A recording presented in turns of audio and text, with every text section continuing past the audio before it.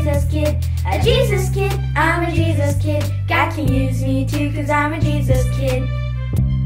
Yeah, yeah, yeah, yeah, Jesus kid.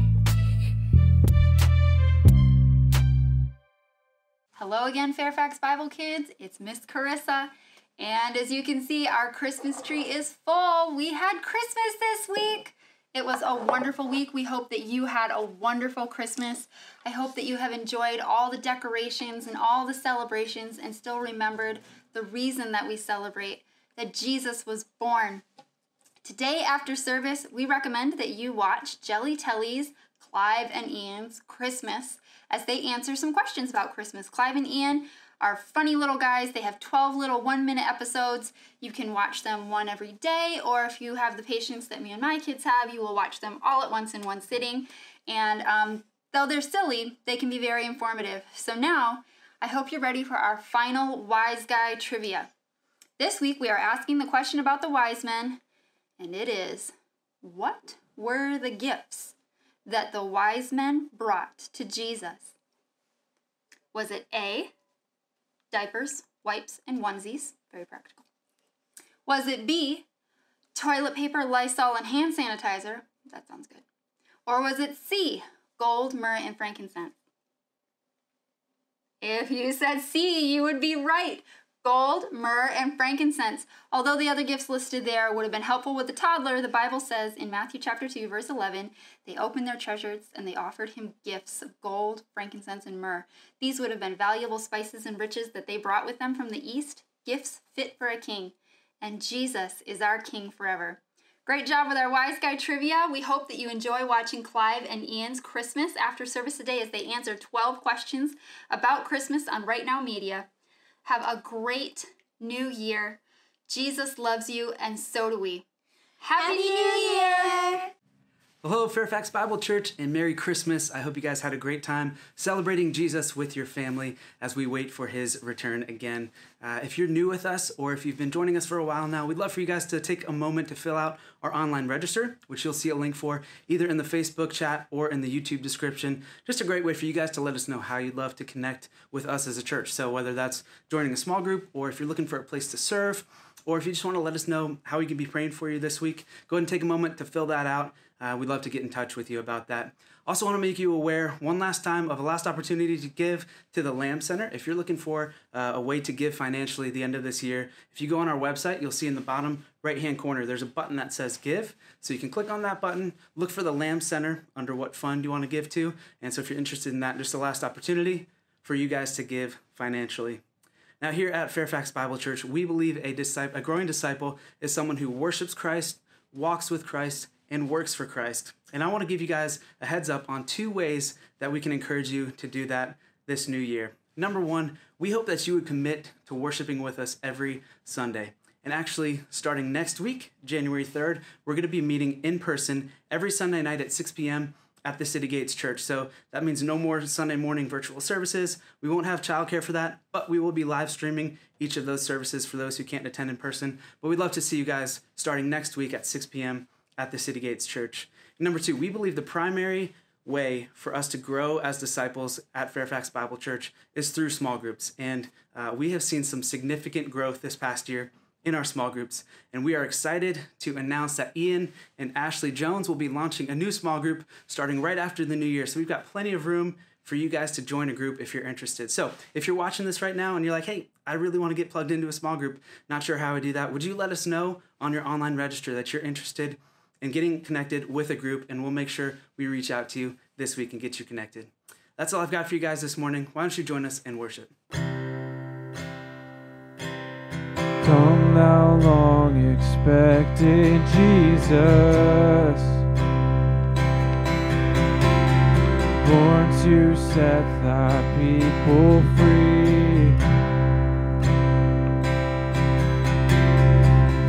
our fears and sins. Release us. Let us find our rest in thee.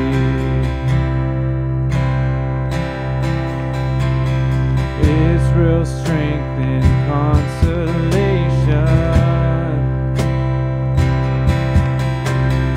hope of all the earth thou art.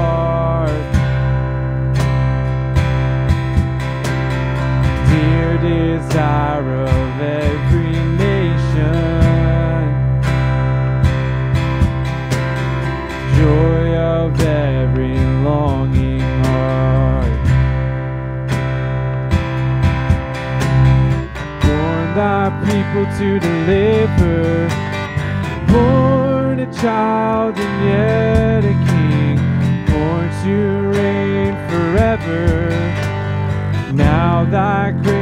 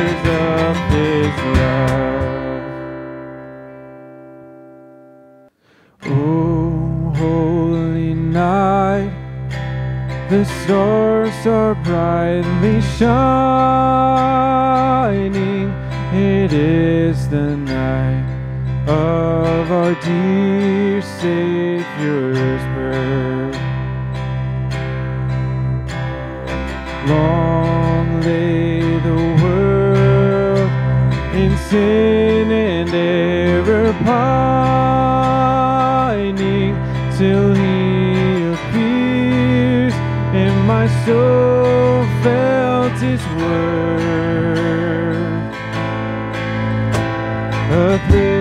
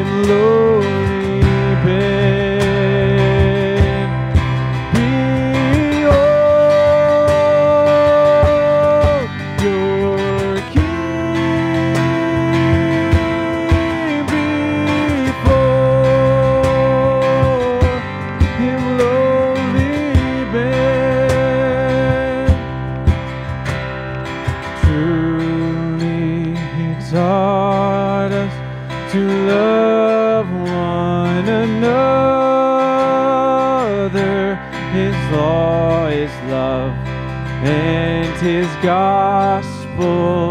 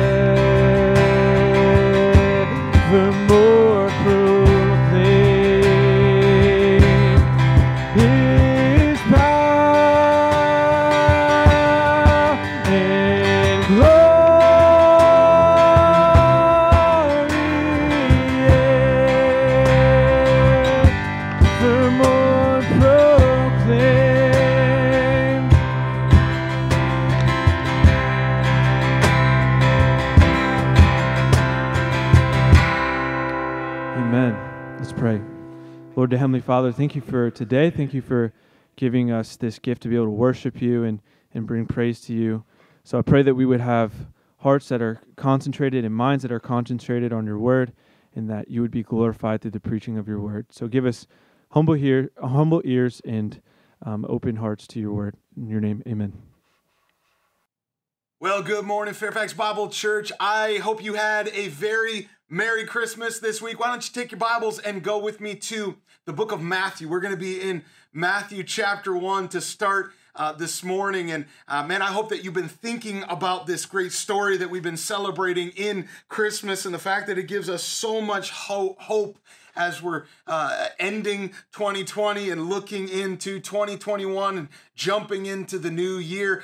This story kind of anchors us in some truths that I think we need. So I want you to uh, follow along with me as I read here in Matthew chapter 1. Uh, I'm going to pick up in verse 21, okay? This is when the angel has come to talk to Joseph and to tell him about what's going to happen. In verse 21, uh, he says to Joseph, She, Mary, will bear a son and you shall call his name Jesus, for he will save his people from their sins. Now, all this took place to fulfill what the Lord had spoken by the prophet Behold, the virgin shall conceive and bear a son, and they shall call his name Emmanuel, which means God with us. Man, this is such an awesome truth. We're, we're, we're looking at the theology and the implications of the incarnation that the eternal Son of God became a man, fully God, fully man, and he entered into our world and he did it, it says, to be with us. This word Emmanuel is a Hebrew name, and, he's quoting from the prophecy in Isaiah chapter 7. And, and Matthew here provides the interpretation for those of us who don't know Hebrew so, so that we wouldn't miss the significance of this name. He wants you to get it down, like, don't miss this. He, he puts it in parentheses there so that you know that this name means God with us. Literally, with us is God. Have you thought about what that means? Like, like, like why, why is that so important? The gift of somebody's presence is pretty special.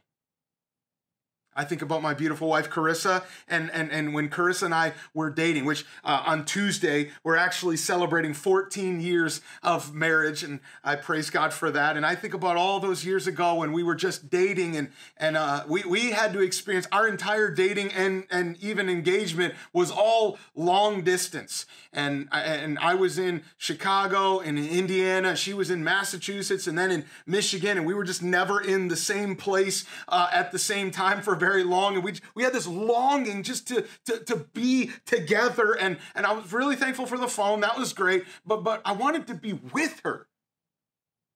It's like the way that kids want to be with their mom and dad, right? Kids want to play with mom and dad. What, what I've learned is that you don't even have to be like great at playing dolls or kitchen set or Legos or whatever it is that they want you to do. You don't even have to understand the rules of what you're playing. They just want to be with you. The gift of somebody's presence eh, shows up when, when you're also facing something scary.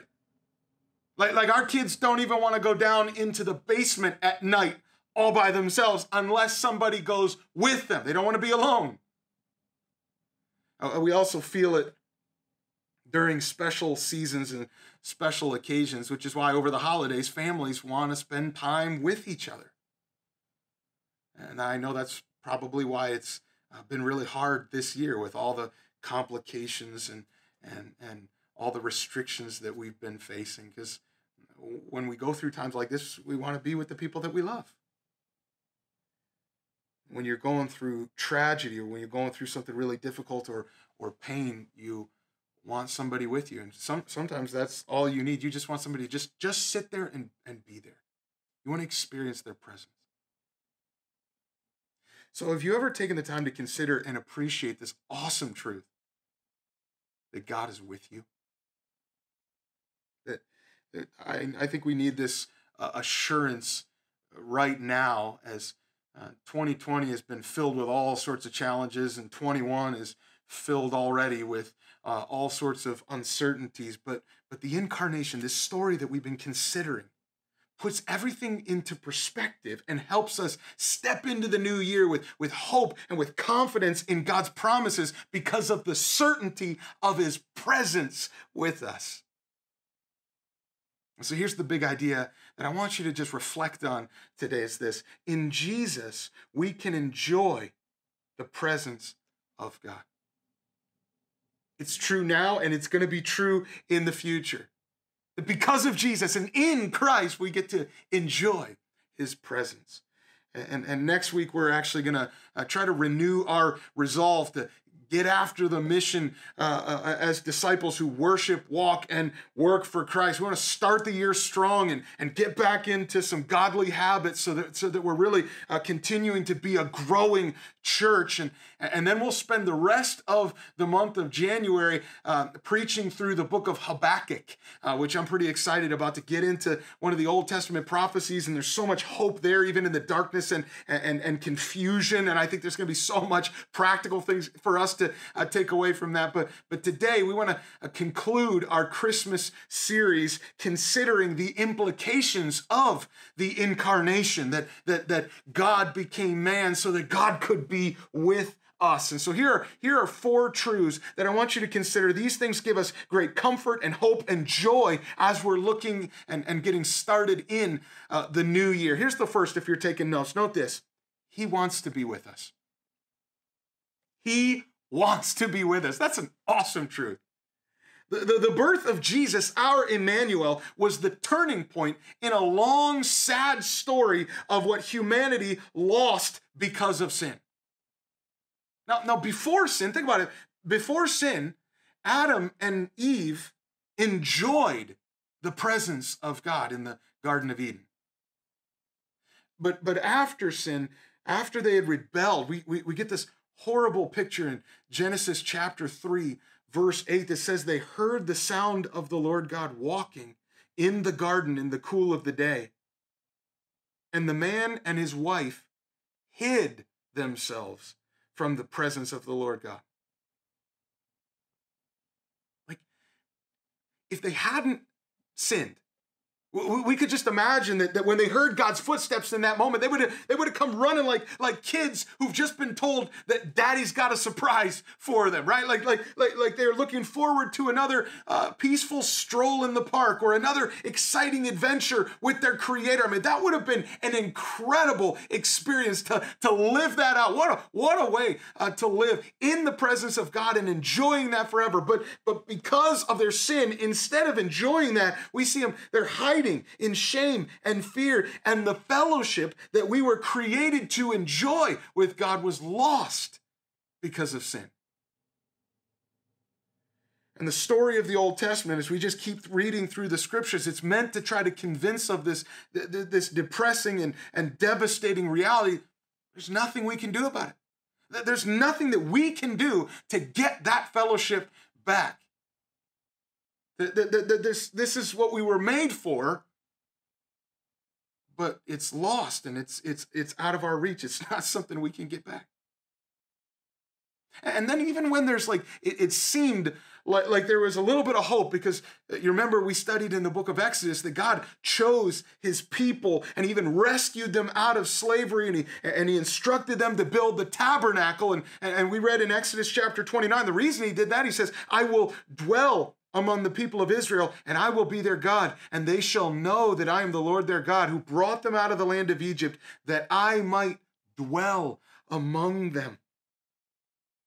While that was, uh, you know, we know that was just a shadow of, of, of better things to come. It was still a glimmer of hope, but but that was short-lived too, and, and it was broken because the people were sinful and they rejected God. And it's just proving over and over to us that we as humans just can't enjoy fellowship with God because of our sin. But praise God, that's not the whole story. That's not the end, that there's more to it. With that hopeless background in mind, these words that we just read in Matthew chapter 1, verse 23, they ought to make our hearts skip a beat with excitement. We read this that, that behold, the virgin shall conceive and bear a son, and you shall call his name Emmanuel, which means God with us. John says this in John chapter 1, verse 14. He said, The word became flesh and dwelt among us. Literally, he tabernacled among us. He came to earth to be with us so that we could be with him. That our, our fellowship with God has been restored through his sacrificial death on the cross for our sin. What an awesome truth that the God who made us didn't just give up on us.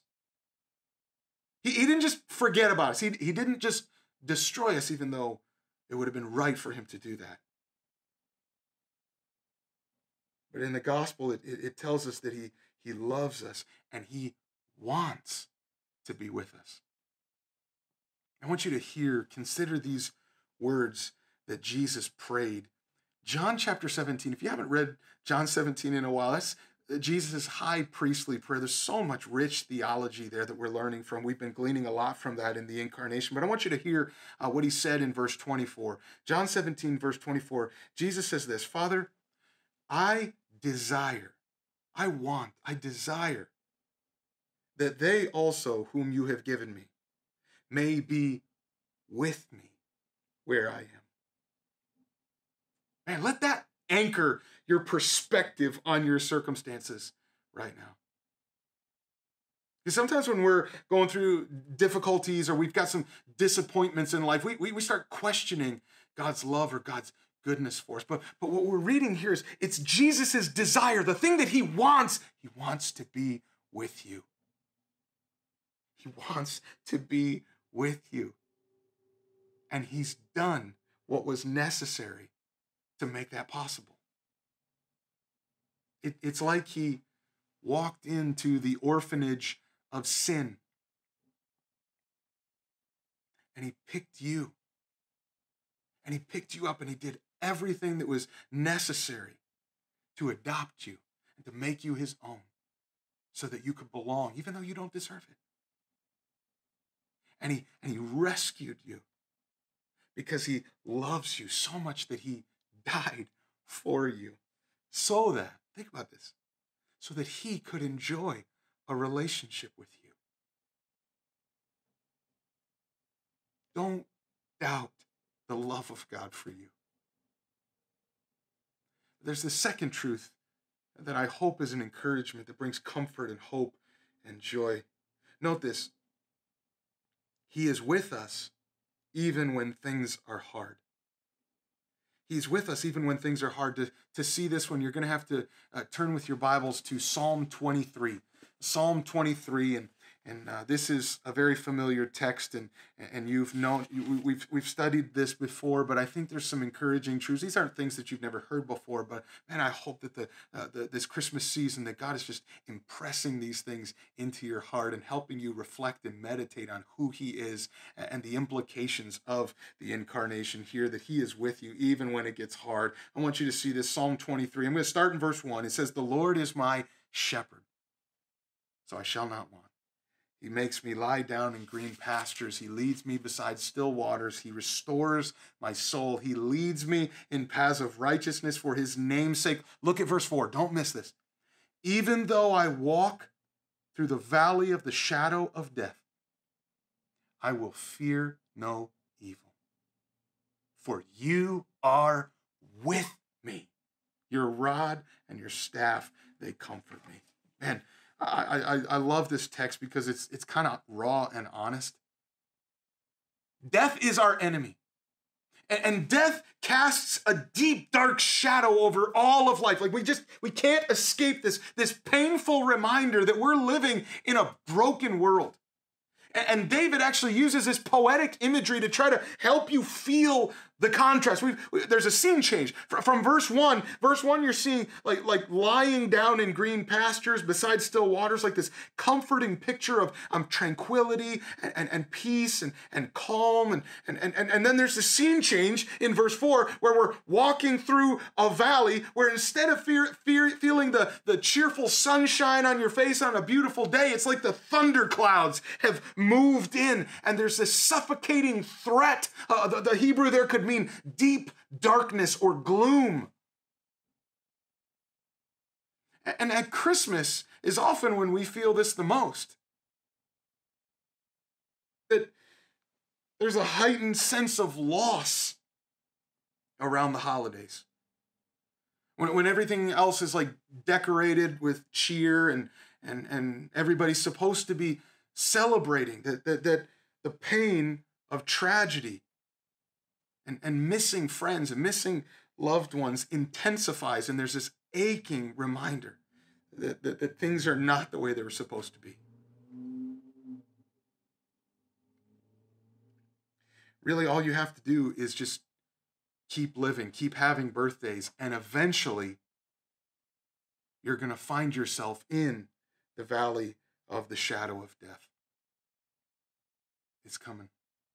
And it could be personal loss, it, it, could be broken dreams, it could be disappointment, it could be uh, shattered relationships or, or health scares or, or career or financial struggles or unexpected challenges, circumstances that you didn't see coming, whatever it is. Life is hard.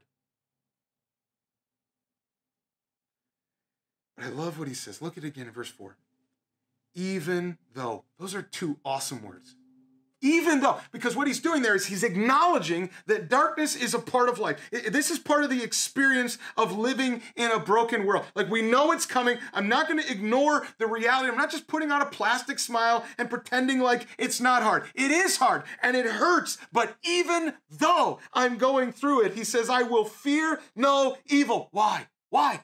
For you are with me the, the, presence of our Emmanuel in the midst of deep darkness and, and sadness and, and scary circumstances allows us to face them without letting our hearts get hijacked by fear and believing that we're doomed and, and, and there's no hope and that the sun won't rise again.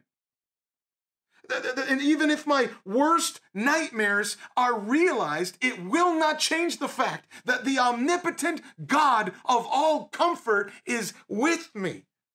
And no matter how deep that darkness grows, I will never be alone. I'll never be alone. And, and he's going to walk through that valley by my side. And his, his, uh, he's going to lead me with his rod and his staff of protection and care to, to comfort me with this glorious reminder that he is the good shepherd who literally laid down his life for me. Some of you are going through it. I've talked with many of you who have been experiencing even just the last couple of weeks. And, and, and we don't have to compare whose valley is darker, who's, who's got it worse. But I hope you sense that, that one of the treasures of the incarnation is knowing that Jesus gets it, that, that he became a man so that he would sympathize with our weaknesses. He suffered as we did. Like he understands, he knows. But I also hope that you get this and sense this truth that He's with you. Sometimes it's actually in the valley where we feel His presence most, which might be a special grace that you could praise Him for. One of the Puritans prayed this that the valley is the place of vision. In the daytime, Stars can be seen from the deepest wells. And the deeper the wells, the brighter thy stars shine.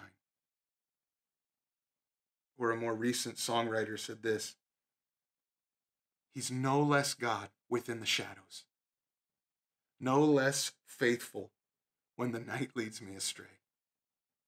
In fact, it's often in the darkest moments in life where, where the light of Christ just shines all the brighter, and Jesus proves his faithfulness to us with his comforting presence, that he is with us even when things are hard. How does that change uh, your perspective on what you're going through right now? Especially in light of the fact of what we might be facing and all the uncertainties in the new year.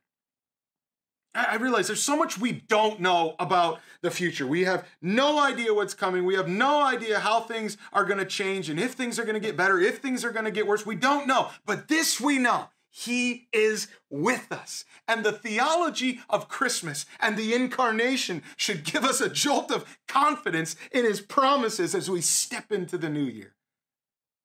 And, and this third truth, if you're taking notes, note this He will always be with us and never leave us. He will always be with us and never leave us. I want to I want you to see this in Matthew chapter 28. Turn back to Matthew at the very end of Matthew's gospel. Again, another text you're very familiar with. You've heard these things before, but maybe we pick up on the theology and, and this theme uh, that we're seeing even in a familiar text. Matthew chapter 28, starting in verse 18, he says, Jesus came to came and said to them, All authority in heaven and on earth has been given to me. Go therefore and make disciples of all nations, baptizing them in the name of the Father and of the Son and of the Holy Spirit, teaching them to observe all that I have commanded you. And watch this Behold, I am with you always to the end of the age.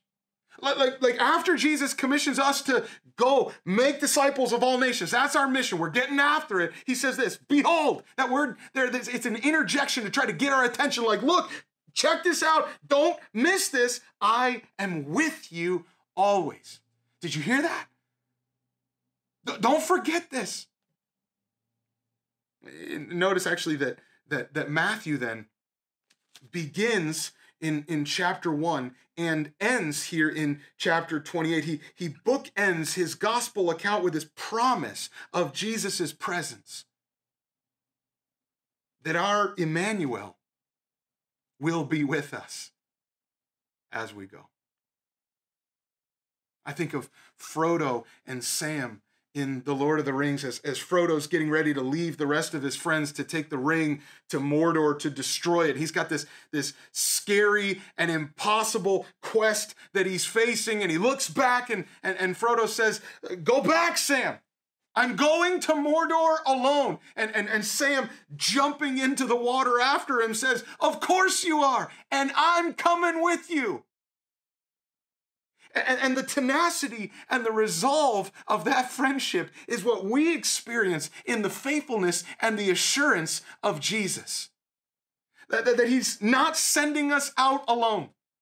And no matter where and no matter what we're facing as we go, he's saying to us, I'm coming with you always. Man, what an encouraging truth this is. Do you know this? You have a great purpose for your life. You have a great purpose for your life. And it's not some big dream uh, for the distant future, it's right in front of you. That Jesus sent you here, right where you're at, for this moment to make disciples of the people that are around you in your sphere of influence, your friends and your family, your coworkers, your neighbors, these, these people that he's placed in your life. You have this great privilege to tell them that Jesus came to be with us so that we could be with him forever. And it's a big task. And he knew that. And so he sent his spirit, not only to be with you, but to be in you to be your helper to see it done. He is all we need. The writer of Hebrews, uh, Hebrews 13, verse 5, he goes into uh, uh, some rapid uh, application in, in chapter 13 of the book of Hebrews, but he says this Keep your life free from the love of money and be content with what you have. For he has said, I will never leave you nor forsake you. I think the reason he's saying that is he's trying to help us understand. You, you never have to look for security or satisfaction anywhere else. You don't have to get more money. There's nothing, you have everything you need because you have this promise of God's presence. He will always be with us and he will never leave us which makes us think about the future. and leads us to this fourth truth that brings us so much comfort, so much joy, and so much hope. We will be with him forever. We are going to be with him forever. In John 14, verse 3, Jesus said this And if I go and prepare a place for you, I will come again and I will take you to myself, that where I am, you may be also. This was his plan. This is what he came to do. And because of what Jesus has done for us, this is what we have now to look forward to. That, that we have this great hope. And it's not just some like optimistic, I hope so. This is a confident, I know so. I know this is true, that we are going to live forever with God that we're going to get to enjoy fellowship with, with God. It's what we were made to do, and we're going to get to enjoy it forever. And we see it on display. Revelation chapter 21, verse 3 says, I, I heard a loud voice from the throne saying, Behold, the dwelling place of God is with man. He will dwell with them. They will be his people, and God himself will be with them as their God. Man, what a great hope. I hope you're seeing that the theology of the incarnation fills us with comfort and joy and with great hope. And man, more than anything, I hope that our study through this has magnified the greatness of our Savior, Jesus Christ, the Son of Man, the Son of God, our Emmanuel, God with us. Lord, we give you praise that you have accomplished this. So many times we run after other things. We try to find satisfaction or security somewhere else. And Lord, forgive us of that. You're it. You've done what is necessary so that we could get back to this uh, relationship that you created us to enjoy, this fellowship, that we can have that with you. And we have that assurance that it's going to last forever, it's never going to end. What joy we have. So we give you praise, we give you glory. You are deserving of it, our Savior, our Emmanuel. And it's in Jesus' name we pray. Amen. Well, Merry Christmas and a Happy New Year to everybody. This is our last virtual service of 2020, believe it or not. I know this has been a crazy year, unprecedented year, a lot of changes. Uh, this little nugget wasn't here when we first went virtual and started doing everything. Um, I've had the privilege of being able to lead worship and help lead worship for a lot of 2020. Um, which has been just like we talked about, unprecedented in terms of everything that has that has happened this year. Uh, some of us feel pretty sad about it, but uh, as we close the year out, I, I, just wanted to take some time to uh, focus on really where our assurance comes from, and we we have our hope in Christ. It, it's not in circumstances or, or things that might happen. So as we close out 2020, uh, let's do it in, in worship and in praise to Jesus' name. So let's sing Build My Life.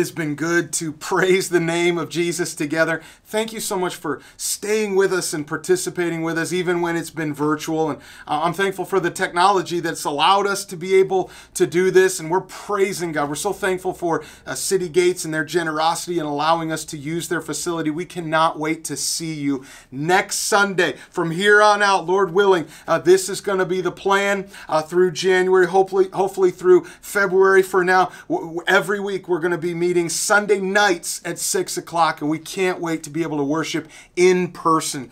Uh, but we really want to start the year strong, so I want to encourage you to be there. We're going to get back after uh, what it means to be a disciple that worships Christ and walks with Christ and works for Christ. Let's, let's get after the mission that He's called us to. So, church isn't over. Let's go be the church this week, and as you go, love Christ and live sent.